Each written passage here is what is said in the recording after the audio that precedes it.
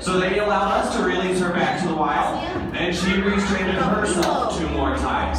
Again, U.S. government has that three strike policy, so she did come back after that third rescue. right now. I need it. In any situation, we are going to do everything we can to rehabilitate that animal and get it back to the wild. That is Listen. always our number one goal.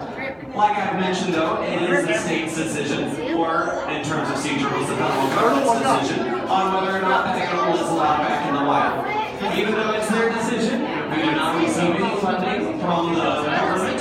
So we want to say thank you for coming to our park today.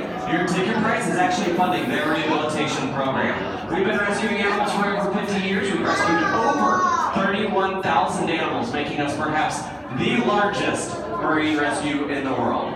Now, once again, once you move into part two, you will face these same challenges for yourself through the eyes of our sea turtle named